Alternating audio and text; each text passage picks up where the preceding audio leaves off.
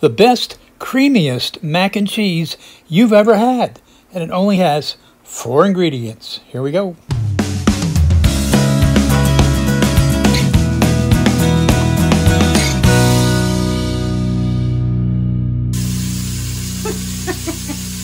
okay.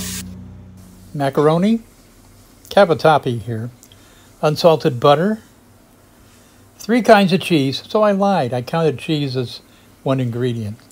And cream. And a couple of garnishes. We're going to start with three tablespoons of unsalted butter in a non-stick medium skillet over medium heat. Let the butter start to melt. And then we're going to add one and three quarter cups of cream.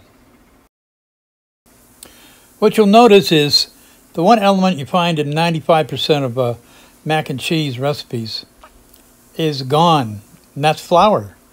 And we're going to uh, make the sauce thicker by reducing the cream. Not using flour, not making a roux, nothing, but you got to have cream and butter. Make sure you stir the simmering cream once in a while because it will boil over. After about 7 to 8 minutes of simmering, check the consistency, see how it runs off the spatula. Now we're going to add 1 cup of sharp white cheddar, quarter cup of Gruyere, and a quarter cup of grated Parmesan cheese. Stir it in real well and let the cheeses melt.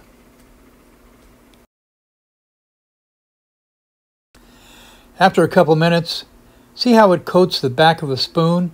Should be a sauce consistency and not real thick. If it is real thick, thin it out with a little pasta water. Turn off the heat and get ready to put it together. Put your cooked pasta in a large bowl. Uh, in this case, I used cavatappi. Now your incredibly beautiful and smooth creamy cheese sauce. Now fold it all together with a wooden spoon or a rubber spatula and get it mixed together really well. Get yourself a small baking dish and spray it with pan spray. Uh, in this case, I used uh, two small gratin dishes. Load them both up with the mac and cheese.